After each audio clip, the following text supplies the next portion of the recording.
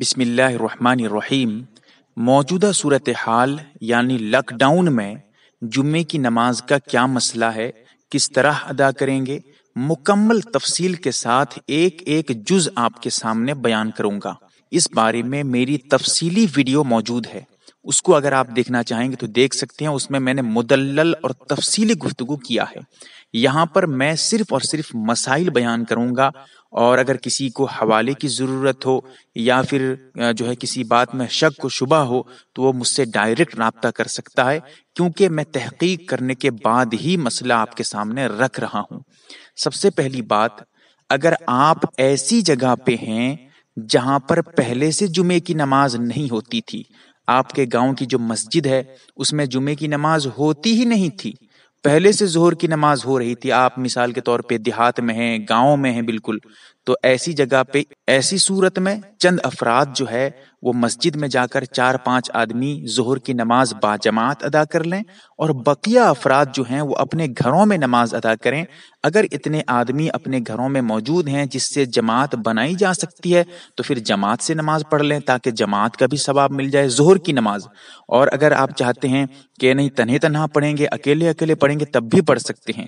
اگر گھروں میں عورتیں ہیں، ان کو بھی آپ جماعت میں شامل کر سکتے سکتے ہیں، لیکن اتنا یاد رہے کسی باہر سے، کسی مطلب سائڈ والوں کے گھروں سے جو ہے عورتوں کو نہ بلائیں، بس اپنے ہی گھر کی عورتیں ہوں، آپ ان کو لے کر گھر میں نماز پڑھ سکتے ہیں۔ ہاں ذرا ایک مسئلہ یہاں واضح کر دوں۔ اگر عورتوں میں محرم، غیر محرم سب ہیں، تو بیچ میں پردہ ضرور لگا لیا کریے۔ صرف اور صرف محرم اگر ہیں تو بیچ میں پردہ کرنے کی ضرورت نہیں ہے۔ آپ بغیر پردہ کے بھی نماز پڑھا سکتے ہیں۔ ہاں اگر اتنا یاد رہے کہ اگر آپ جو ہے صرف اور صرف غیر محرم ہیں عورتیں، کوئی محرم ہی نہیں ہے، تو ایسی صورت میں نماز بھی مکرو ہوگی، امامت بھی مکرو ہے۔ ایک مسئلہ اور یہاں پر بتا دوں، اگر آپ عورتوں کی بھی نماز پڑھا رہے ہیں، تو ایسی صورت میں امام کے لیے لازم ہے کہ وہ عورتوں کی بھی نیت کرے کہ میں عورتوں کی بھی امامتی کر رہا ہوں، ورنہ عورت کی نماز نہیں ہوگی۔ ٹھیک ہے، اس کا بھی خیال رکھنا ضروری ہے۔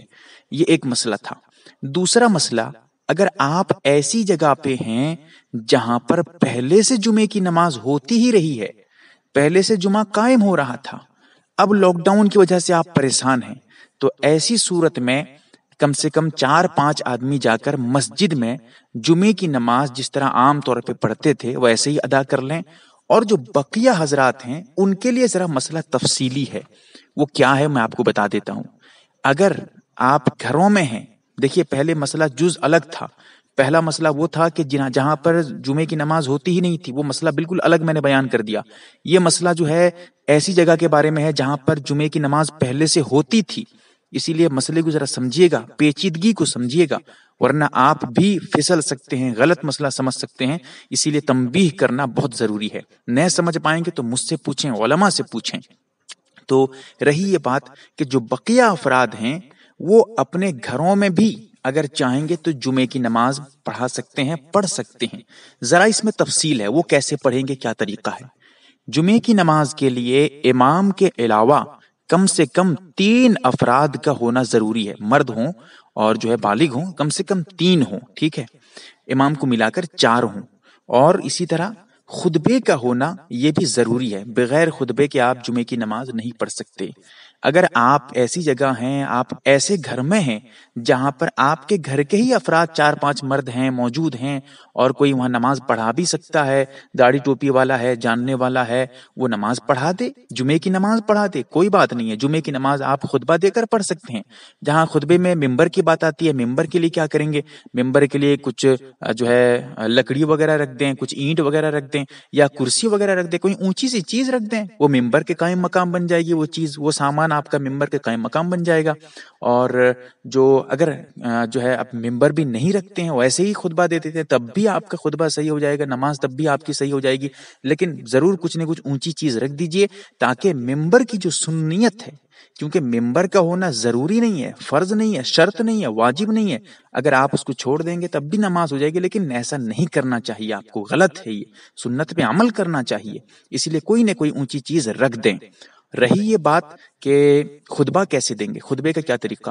عام طور پہ جو خطبہ جمعے میں دیا جاتا ہے، مسجدوں میں امام صاحب دیتے ہیں، وہ ایسا خطبہ دینا کوئی ضروری نہیں ہے۔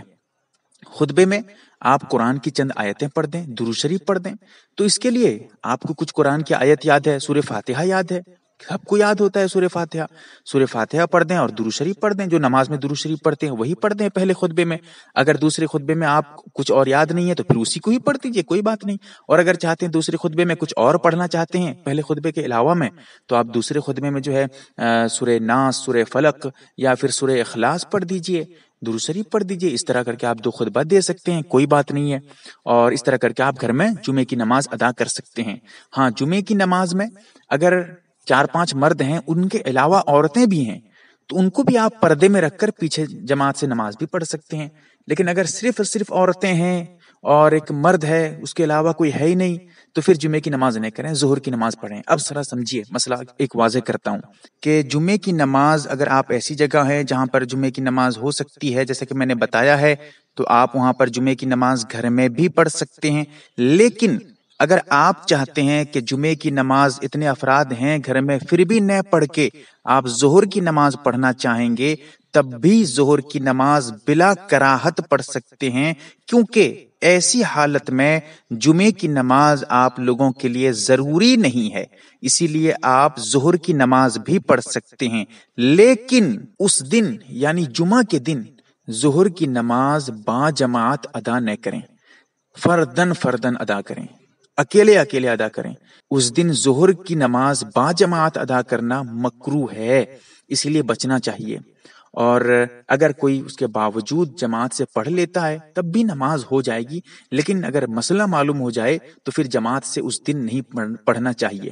بقیہ دنوں میں، عام دنوں میں جمعے کے علاوہ کوئی بھی نماز آپ جماعت سے پڑھ سکتے ہیں۔ کوئی بات نہیں ہے گھر میں۔ اور اس کے علاوہ جو ہے جمعے کے دن، ظہر کی نماز کے علاوہ اور نمازیں ظہر کے علاوہ جیسے اثر ہے، مغرب ہے ایسا ہے، فجر ہے، ان کو آپ جماعت سے پڑھ سکتے ہیں، کوئی بات نہیں ہے۔ رہی آخری بات، یہ جو مسئلہ ابھی بتایا گیا ہے، یہ صرف اور صرف لاک ڈاؤن تک محدود ہے۔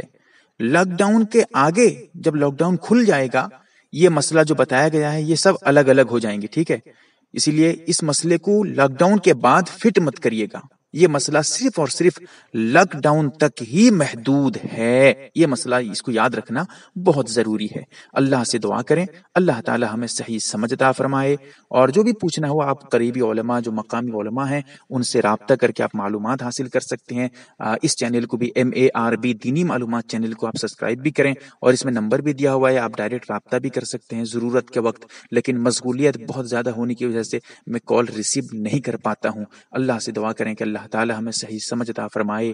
آمین یا رب العالمین۔ یم اے آر بی دینی معلومات چینل کو سبسکرائب کریں اور گھنٹی والے نشان کو ضرور دبائیں تاکہ ہماری ہر نئی ویڈیو آپ تک پہنچتی رہے۔ ویڈیو کو لائک اور شیئر ضرور کریں اور ہماری ہر ویڈیو آپ اپنے چینل میں ڈال سکتے ہیں۔ نیز ہمارے ساتھ واٹس ایپ پر جڑنے کے لیے آپ اپنا نام اور مکمل ایڈریس کے ساتھ ایڈ لکھ کر میرے WhatsApp number eight nine zero eight nine three nine three four three کو میسج کریں۔